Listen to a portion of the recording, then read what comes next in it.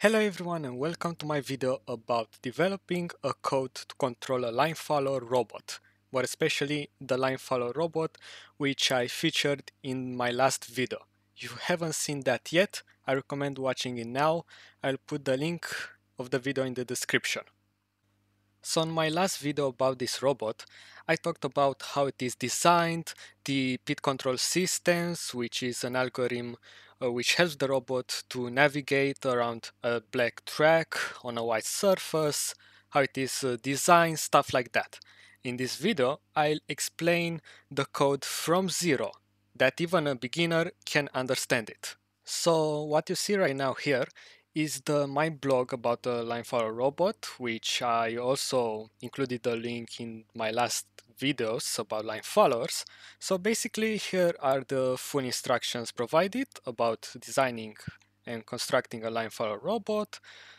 I've talked about the 3D designs, the CAD. I also talked a little about the sensors I used. And the last thing, I also included schematics, which we'll use in today's video. Let me just get the schematic here. So basically, to develop a code in Arduino, you always need to keep track of the hardware you are using. Right now, in this project, we are, we are using an Arduino Pro Mini, which we'll use to program with, a motor driver, a Bluetooth module, which will not be included in today's video, and a sensor array. This circuit schematic is important because it keeps track of the pins that are used by the Arduino. For example, the motor driver uses like 5 pins, the sensor array uses like 9 pins, and in order to achieve the desired result, you need to program those pins to emit or receive digital or analog inputs slash outputs. If you program those correctly, you will achieve your desired result. That is, the robot should follow a black line on a white surface. So let's open the uh, program in Arduino. Here we have a blank Arduino program with just two functions, setup and loop. So first I will explain what these functions do. And next we'll take every component in part and we'll try to program those, program the pins, declare the variables that they use and so on. So the Arduino uh, makes use of these two functions, the setup function and the loop function. Basically, uh, every programming language is sequential. That means it will execute each line from top to bottom. In the setup function, you put you declare pins, declare variables, things that you only want to execute once. For example, if you put imagine that we put here a declaration of a, a variable, step one. After the setup phase, we go into the loop phase where we design the algorithm we want to use. In the loop function, the code will execute for an infinite time. And it will execute, as I said, because this is sequential, it will execute from top to bottom and when it reaches the bottom, it will go back to the top. For example, step 2 and step 3. Let's say there are some functions, I don't know, some operations. Then, when we run this code on a robot, it will execute first the step 1, then step 2, step 3, and then again step 2 and step 3 for an infinite time. Besides these two functions, you can also declare variables outside them. For example, at the start of the program, you can declare a, variable a to take a 5. Then it will execute first this, and then the setup, and then we'll take the loop. These variables that are declared outside the functions are called global variables. And basically, if you mention the variable here in the setup or in the loop, uh, they will know that we are talking about this variable and not something else.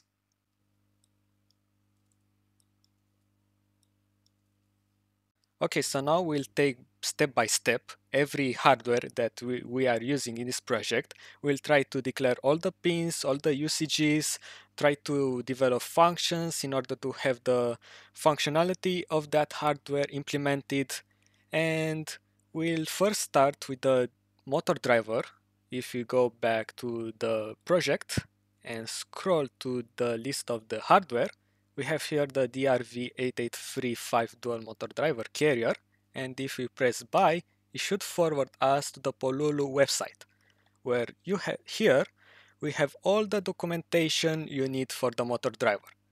What we need is the usage of the motor driver where it shows how you can wire it with the microcontroller and with the motors and of course with the battery and also how, the, how you can control how you can develop the code in order to control the motors the speed and the direction of the motor as you can see the motor driver is connected with the microcontroller by 5 GPIO pins and of course the VCC and ground.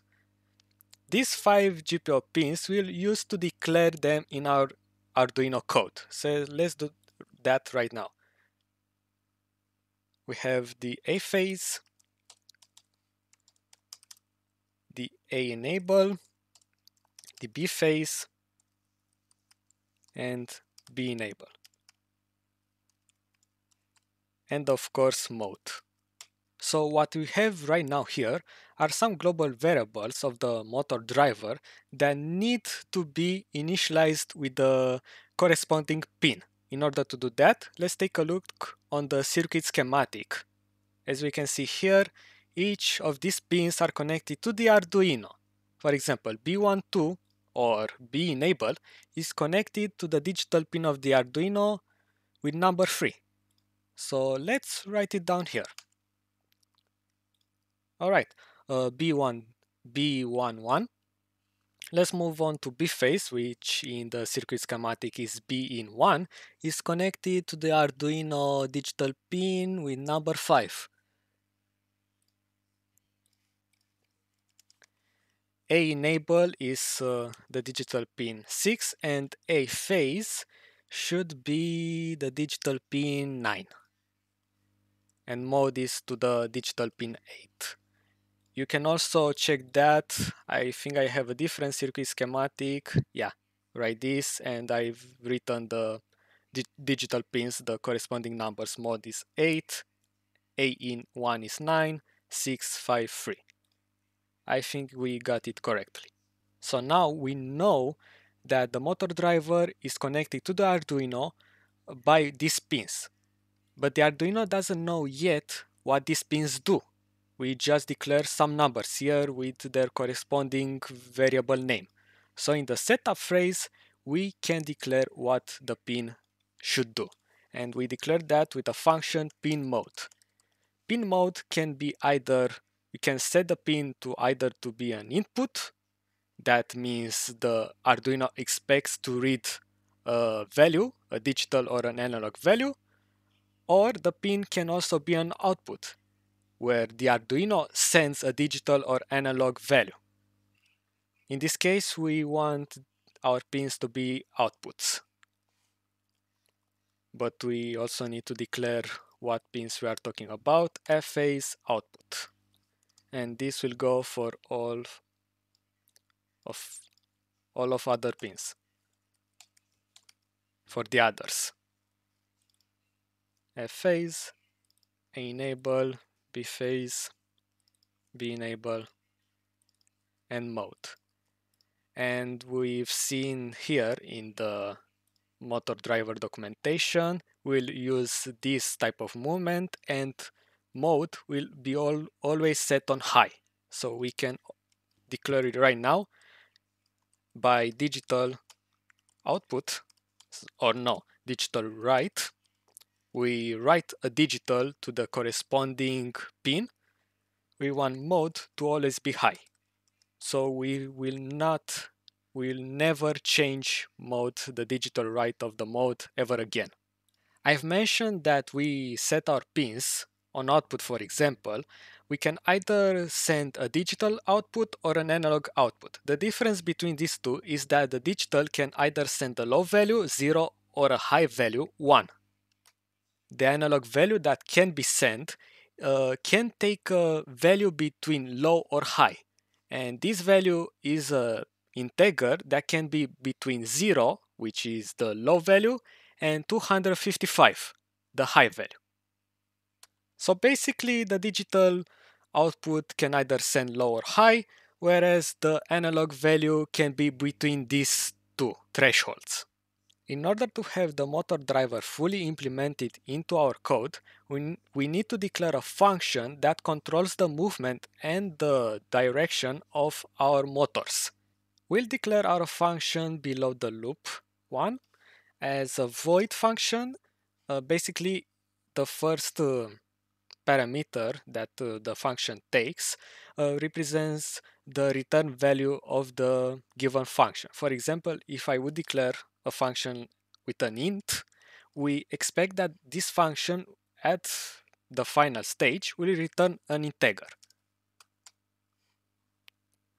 But we don't want to return anything, so it will be just a void.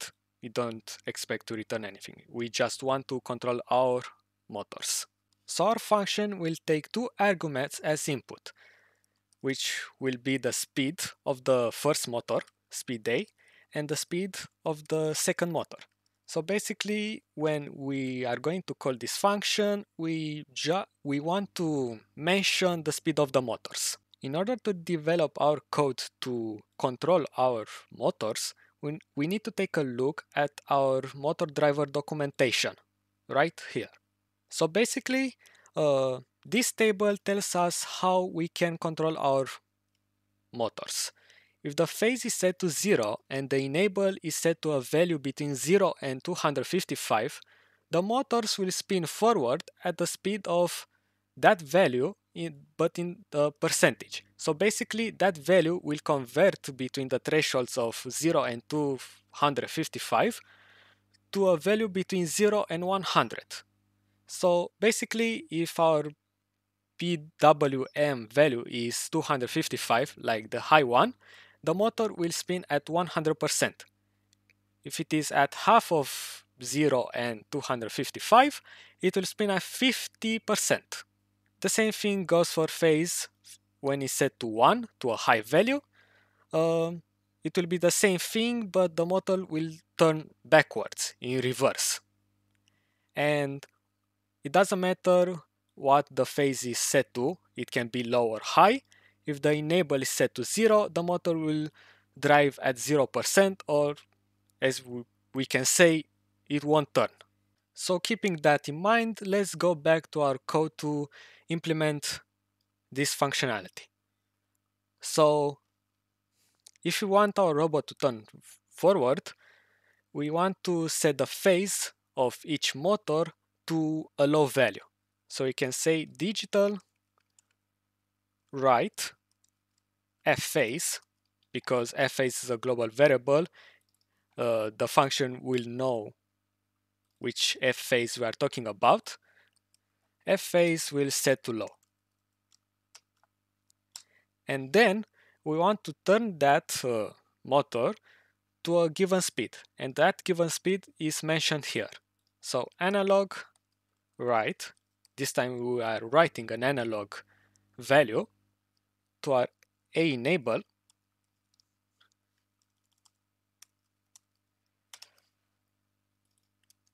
And we'll give the speed a value. And the same goes for the second motor. B phase is set to low b enable takes the speed b argument specified at the beginning of the program and we will rename this to forward movement. But what if we also want our robot to go backwards? For example, if we have a very narrow curve, we want one motor to go backwards, one motor to go forward. And with this movement, the motor can spin around itself. We can make another function, or we can say, taking into consideration that these values, speed A and speed B, can be negative. And when they will be negative, we know that we want to go backwards and not forward. And in order to develop this, we will make some conditions. If speed A is lower than zero, we want our robot to go backwards. uh, the motor, the specified motor we want to go backwards. Else, if speed A is higher than 0, then you want to go forward. And this is, needs to be set on high. The same thing goes for the second motor. And because we are working with both a negative and a positive value, when we write an analog signal, we need to have that value converted to between an interval 0 to 155. So if the value is negative in this condition, we'll also say that it should be positive. And that converts our value into a positive value. And the robot will turn at the specified percentage and we will delete this digital write. Good.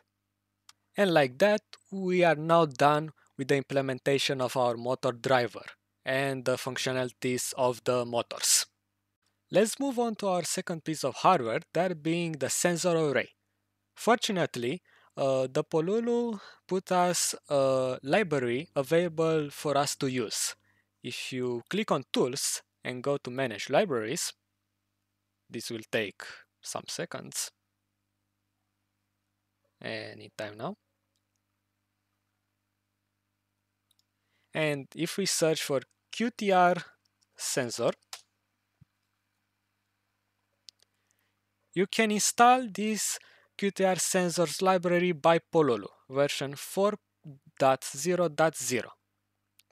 I already have it installed after you install it, you can access some of the codes offered by this library in the file examples QTR sensors.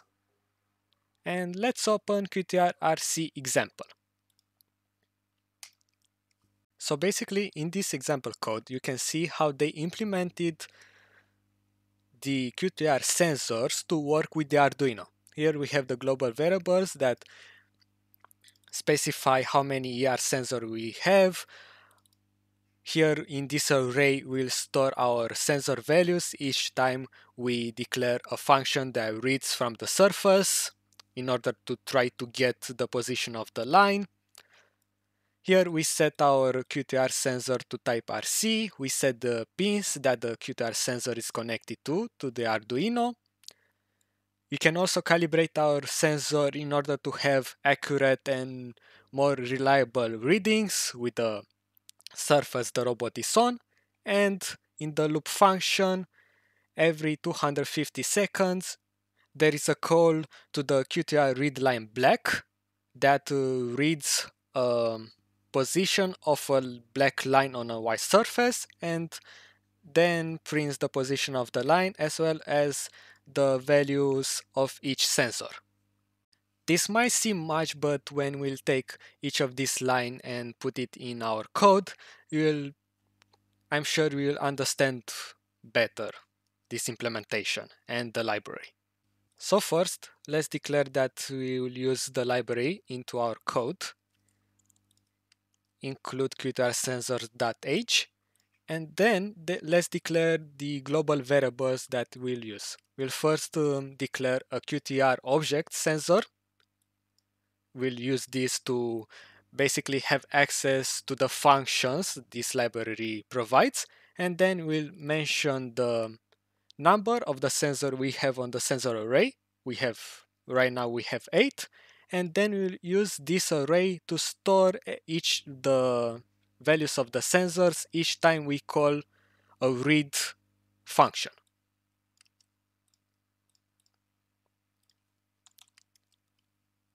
Good.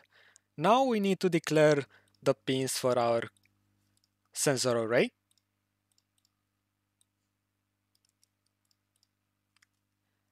And you have the list uh, also in the project of the robot. We can see that the LED-on is connected to pin 7. This is the set emitter pin.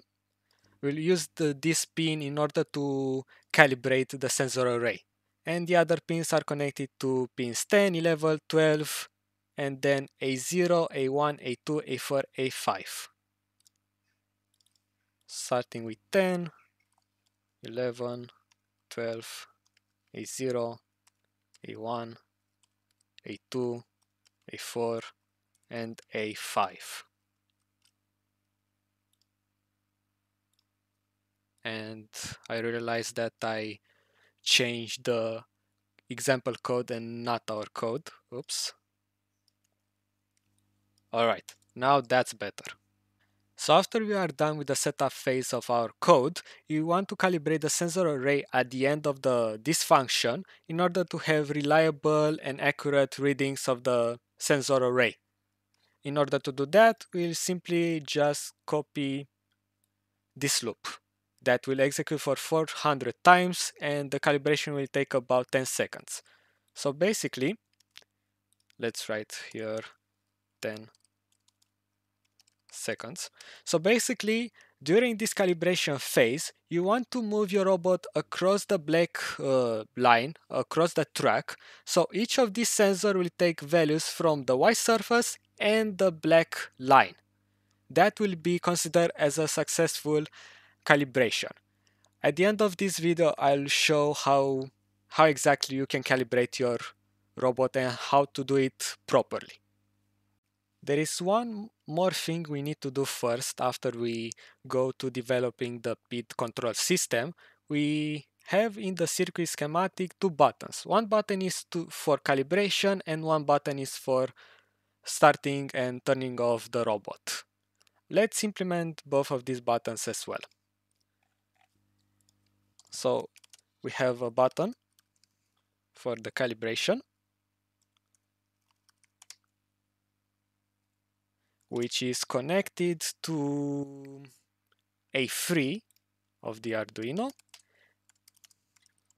and we have one button for start which is connected to pin 2 of the Arduino. So if you take a look at the circuit schematic, you can see the implementation of the buttons. Uh, they are connected to the ground and to the 5 volts of the Arduino Pro Mini. When the button is not pushed, the Arduino will receive a low value. Nothing is going on, the circuit is open. When the button is pushed, the circuit will be closed, the current will flow through the button and through this wire that is connected to the input of the Arduino. So when the button is pressed, the Arduino will receive a high digital value. Taking that into consideration, then our buttons, the pins, will be declared as inputs. Pin mode button calibration will be an input. And the same goes for the start button.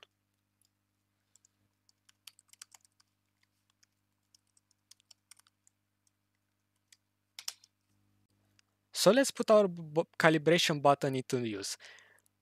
Right now, when the program of the robot starts, it will first declare of these global variables, then declare the pins, set up the pins, and then goes directly to calibrate the robot. We don't want that. We want to wait for the user to press the calibration button and then the robot will, will calibrate. In order to do that, we can stack the program into a loop right before the calibration process. For example, if we declare a loop while um, while we read this calibration button and it is a low value, so digital read of the button is low, then we want to be stuck in this loop. When the user press, presses the button, we'll move on to the calibration and then to the main loop. We can do the same with the start button. After we are done with the calibration, we can make a loop that makes the program stuck whenever the start button is not pressed. When the user will press the start button, the program will go directly to the main loop and execute the PID control system, which will be the next stage of our code development. But first, let's compile our code until this stage to see if we have any errors. I enable was not declared in this scope. Why? Because I've typed it wrong. Okay. And yep, it compiles. Now let's move on to our PID control system. If you want to look about the PID control systems, the algorithm and how it is implemented uh, at the theoretical level, I recommend watching my latest video about line followers robots where I explain in detail the implementation and how the PID control systems works. Right now I'll just copy what I've said in the last latest video and put it into code. So let's get started. To begin with, we want to declare another function we'll, where we'll do the implementation of the PID control system. It is easier for us to implement later in the loop main loop and also to read the code more properly. So let's implement a PID control function which doesn't return anything and doesn't take any arguments and we'll start by reading the position the current position of the line we can do that with an unsigned integer. Position line. And we'll call the QTR from the QTR sensors, the global variable we have declared here. And we'll access a function from the library read line black you can see that it turned into a different color, into red, so we know that this function is correct. Also, this function will take as argument our array of sensor values. So basically, it will change our array with the latest readings of each sensor, and we can access those later. To explain how the position of the line is calculated is based on a mathematical equation.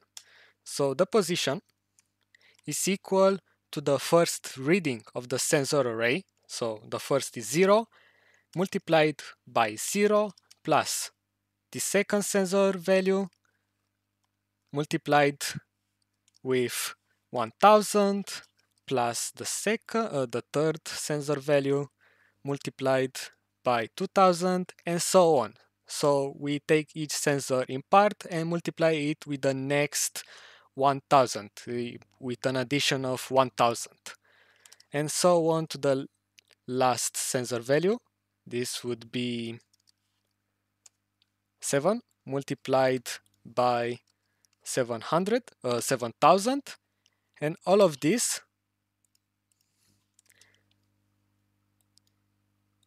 all of this is divided by the addition of each sensor value. Sensor value 1 plus sensor value 2 plus the last sensor value. And basically this position will take values between 0 and 7000 and depending on the last digit of the number for example we if we have the position of the line equal to 2000 we will know that the position of the line is below the third sensor sensor value 2 which is the third sensor with the position is 0, we know that is below sensor the first sensor, sensor value 0. And the middle, like the ideal value that we want our track to be relative to our sensor array, is 3500, which is exactly between sensor 4th and sensor 5th.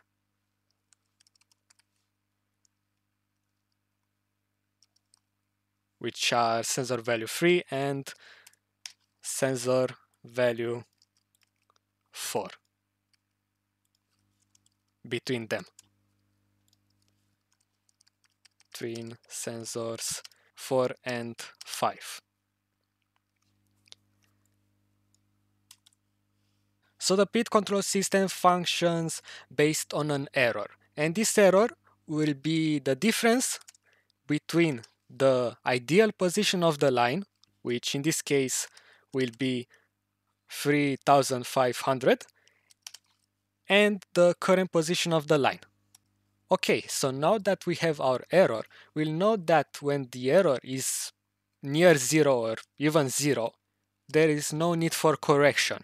The line, the track is below at the middle of the sensor array, the robot goes just fine.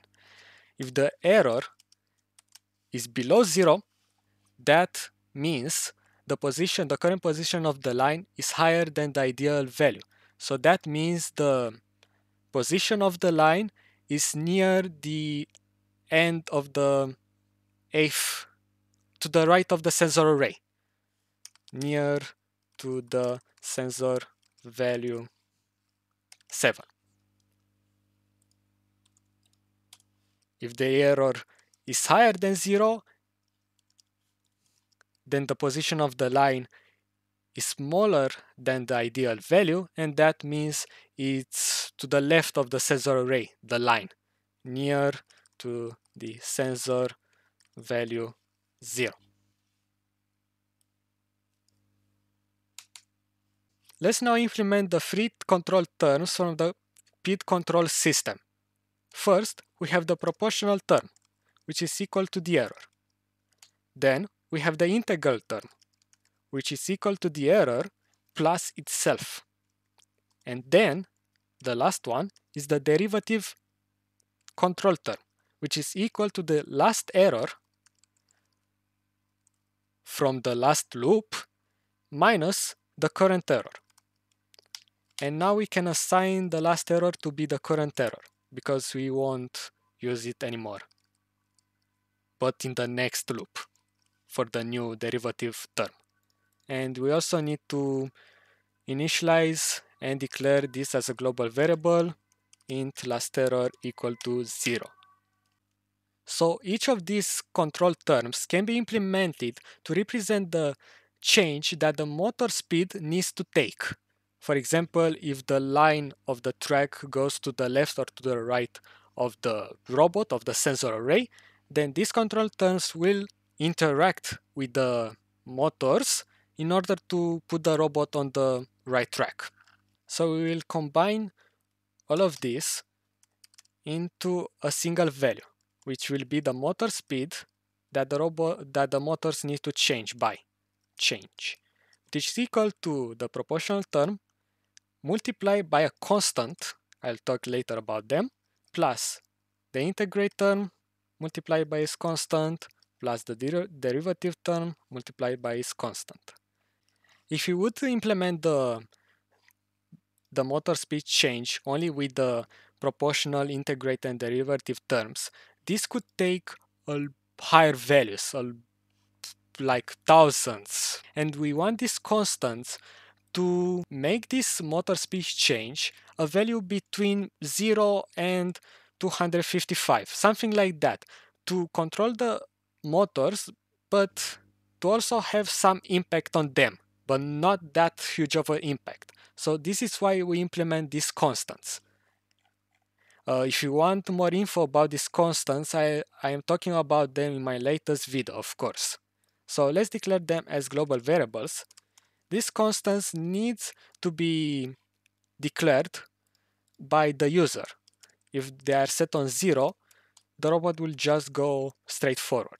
So for my robot, I have set them on the proportional constant is 0.07 this is on 0 I don't usually use that and this is on 0.7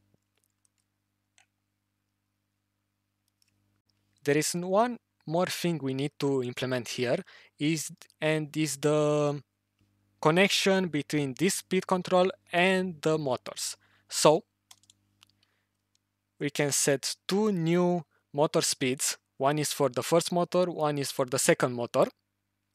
Motor speed A, which will be the base speed value. This base speed value is basically the speed that your robot wants to take when it will go straight forward. We won't, don't want to take the... It depends on the robot and depends on the track. If there are a lot of uh, straight lines, you can increase that to the maximum value. Also, this takes between 0 and 255. I will say that this should take 150 for now. And in addition, we'll implement, we'll put the motor speed change. The same goes for the motor speed B, but with minus. So basically, when there is no error, the motor speed change will be zero. So the motor speed A and B will be set to 150. When the error is positive and there is an error, the motor speed A will increase and the motor speed B will decrease so that the robot can take a curve. Depending on how high is the error and the constants, this curve can be narrow or wider. If the error is negative, the motor speed change will also be negative, so the motor speed A will decrease and the motor speed B will increase. So basically, this right here tells the robot to go left or right. We also want to add some conditions like what if the motor speed A is not between 0 and 255, right? We can set some conditions if the motor speed A is higher than 255. Let's make it the maximum value, 255. The same goes for motor speed B. And of course, we'll also say with 0. 0, 0. But wait, we've implemented that our motors can take negative values. So we can say that the motor can turn backwards when it is below 0. So actually we can also say here that is so basically it can take between minus 255 and 255 and when it's negative the motor will turn backwards. We don't want this value to be very high because it will damage the motors and it might spin very fast. So we can say here that we don't want to be below minus 75. That seems reasonable. And after all of these conditions, we can simply call that the robot needs to take the motor speed for motor A and the motor speed for motor B. That is all of this code. That's basically all of the PID control system that needs to be implemented in order to have a line follower robot functional. So let's compile it to see if there are any more errors and there are not. So let's upload the code to the Arduino and see how the robot will go. Okay, so I've uploaded the code to Arduino and now let's run it. I already turned on the robot. We just need to press the calibration button in order to get the robot calibrated. I press it and now for 10 seconds I'll move the robot, the sensor array, across the whole surface, the black line and the white surface, so the sensors can calibrate with all of the readings. Okay, I think that's enough. Now let's run it. This is the start button. And it doesn't do anything. This might be because I inverted the start button with the calibration button and now that I press the start button it will actually calibrate. So let's try that to see if this is the case. I'll calibrate it again and now I'll press the calibrate button.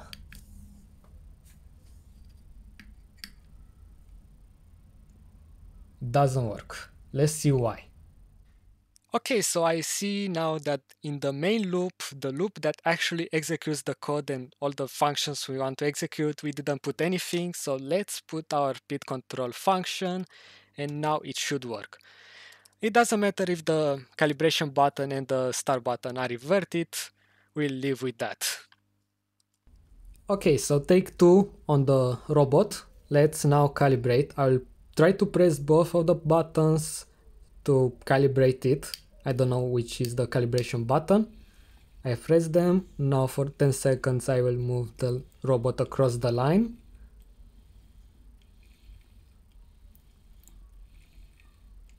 That should be enough. And now let's run the code. Okay, that's not how it is supposed to come here. Okay, so the... Okay, one of the motors is turning backwards instead of forward. So I think the wiring might be wrong. Let's try to change that in, into our code. I've noticed that here is a very, uh, not a very great mistake, but it's a mistake. Like the motor speed, when the motor speed is higher than minus 75, I mean like all of the times, it should always go backwards. And that's not what we want. Now, I'm not even sure if the cause with the inverted motors was the problem. Maybe it was, let's keep it that way. But mistakes like that can happen. I also want to decrease this to 2000, uh, to 100. So what I was trying to say, mistakes like this can happen. Don't worry, just analyze the code, see what's not good. You can even print the values, like you can serial that print you can look at the documentation of serial to see how you can print values to your PC from the line follower you can print your values to see what's going on with your robot and like that you can debug your code if something doesn't work so let's try again to test our robot also let's type here 200 and that should be all. Let's upload the code. Okay, now let's see. Oh, one of these buttons should work. Huh, and now the robot goes completely backwards. Okay, nice. I need to inverse the speed the movement. I know exactly what it is. It's the constant. When we declare the constants with 0.07, we declare as them as integers. Integers are number without decimals. So that means these constants will always be zero. So let's declare them to float type so they can be properly be implemented into the PID control system and I'm sure that this will be the last test that we are doing on the robot. Actually, from the previous tests, the speed of the motors were actually kind of high, even that even that the robot didn't actually work. So let's decrease these values. Like the base speed value should be 75. Let's decrease them a little. 125 and this is this is okay and let's try with these values to see how it goes okay i don't know what test number we are actually on so i'm just going to calibrate the robot and then it should work like if this test doesn't work i'm out of ideas what is wrong oh and yeah, it works now. It's a little wiggling because the constant terms aren't set up correctly. It can be increased or decreased, we'll see. But the main point is that we have now a functional line follower robot. I'm actually going to um, change the constant terms a little. I think the derivative and the proportional terms needs to be increased. And we'll do a last test. Okay, so I said that I want to increase I so it's wiggling, so I need to change the proportional term. Let's put dot 0.8 and let's increase this to dot 0.9. And actually let's also say this like that. Actually let's put it to 9 and now it shouldn't wiggle, wiggle anymore. And let's see if now the robot is wiggling more or less. Okay, that's enough. Ah, start. Okay, it's the second button. It's not. What's going on? Ah,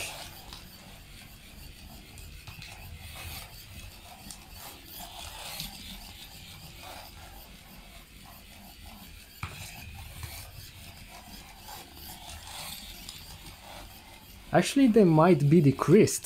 I need to decrease the values, not increase them. Okay, so another problem that made the robot wiggling was the derivative term. This one.